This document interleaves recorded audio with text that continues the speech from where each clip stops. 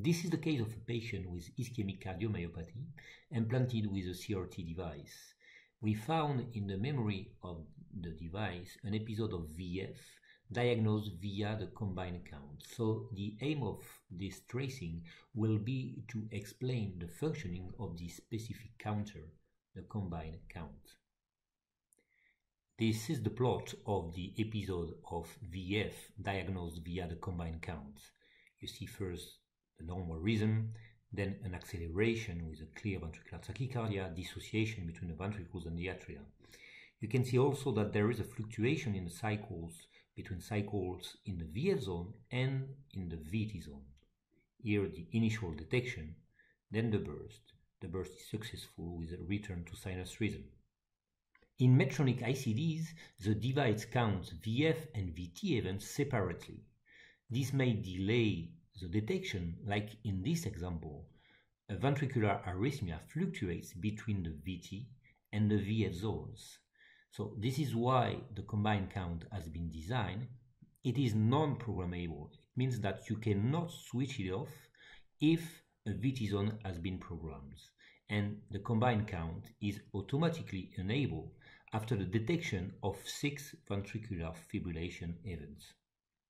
When we look at the EGM, it's clearly a ventricular tachycardia with more ventricles than the atria. And you can see that there is a fluctuation between cycles in the VT zone and in the VF zone. As explained before, the combined count will be enabled after six cycles classified as VF.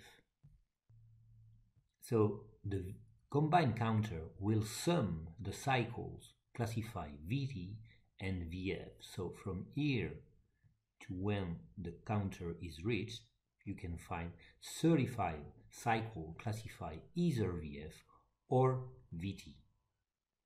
So why 35 cycles are required? The combined count is always 7 sixths of the initial number of interval to detect a ventricular fibrillation.